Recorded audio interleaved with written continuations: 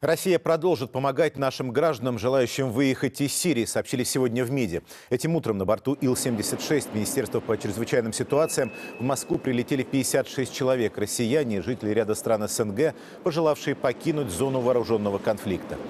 В Сирию самолет доставил 20 тонн гуманитарного груза. Лететь пришлось дольше, чем планировали, в обход Болгарии, которая в последний момент закрыла для этого рейса свое воздушное пространство.